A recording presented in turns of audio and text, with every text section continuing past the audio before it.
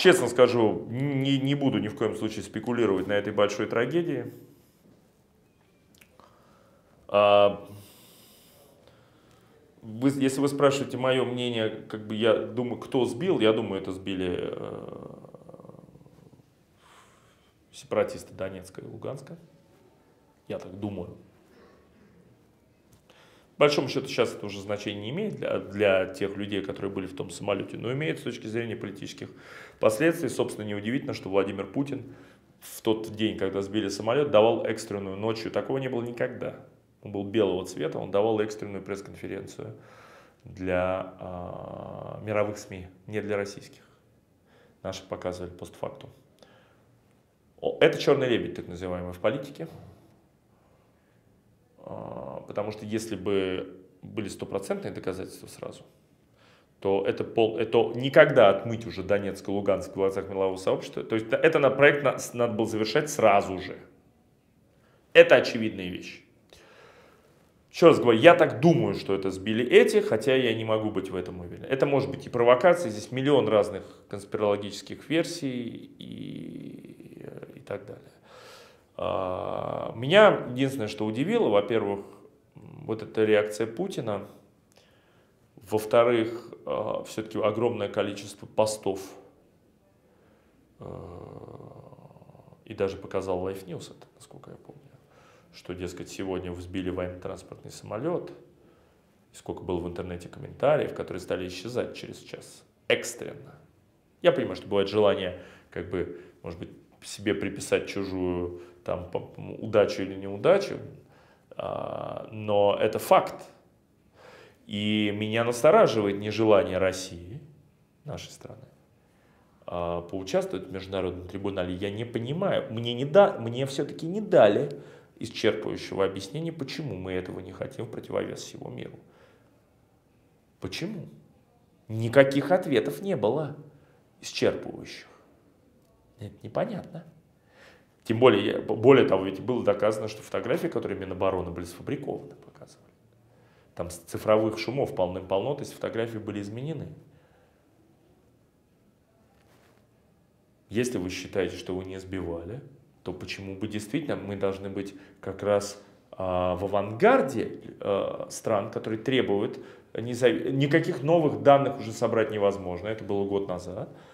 Так почему нет? Почему, если мы белые пушистые, то почему бы нам не провести э, открытый трибунал и с открытым расследованием в рамках этого трибунала? Ну, хорошо. В конце концов, если с той стороны не будет каких-то железобетонных доказательств, то ну, мы всегда можем, ну это же будет очевидно, что значит доказательств нет. Это, ну, а трибунал может, правда, длиться там годами, десятилетиями, как уже была подобная практика. Меня настораживает это. Нежелание честного обсуждения всегда показывает то, что есть какая-то что-то скрытое. Мы не знаем, что есть э, у американцев и у европейцев. А может быть, у них есть какая-то карта, которую они положат во время трибунала, и все. Вот это тоже меня наталкивает на определенные мысли. Опять-таки, я, я ни в коем случае не обсуждаю там данные баллистиков, это было сбит самолет, так это здесь столько разной информации, что это просто без э. Но во всяком случае, что украинская если это не провокация сознательная, это тоже такая версия существует, она имеет право на жизнь, что украинцам просто не нужны были буки. У ДНР нет авиации. И не было, и нет ни одного летающего средства, ни вертолета, ни самолета. А вот то, что ДНРовцы, ЛНРовцы сбивали регулярно украинские самолеты и вертолеты и безостановочно об этом писали, вот это как раз еще организм, а, еще один, так сказать, аргумент не в их пользу. Ну, а всякие разговоры про борт номер один, это просто, откровенно говоря, смешно. Покушение на Путина. Путина летает пять самолетов. Я думаю, что его бы через э, Северную Америку бы повезли зная, сколько людей и сколько денег тратится на охрану первого лица, его, так сказать, боязнь покушения маниакальную, как говорят, и так далее, то я уж уверен точно, что его над зоной боевых действий бы не повезли. Это все дешевка для телевизионная жвачка.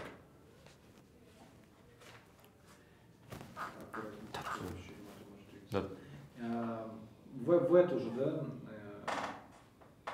в этот же вопрос. А, но ведь Россия, почему, насколько я понимаю также, да, позицию страны, почему Россия против трибунала а, Потому что как раз Россия боится того, что вот то, о чем вы сейчас говорили, а, именно во время трибунала появятся вот те как раз козыри, да, которые сейчас почему-то молчат. В течение года молчали, а Россия требовала, где ответ? Где ответ? Я не где, бер... где я... ответ по комиссии? Ну, я... я еще раз говорю, ну мы... Сейчас, секунду. А, и а, Россия почему не хочет... Пиши, пиши, это, вы, что, это мне удобнее сход работать. Я, я пишу, пишу. Ага.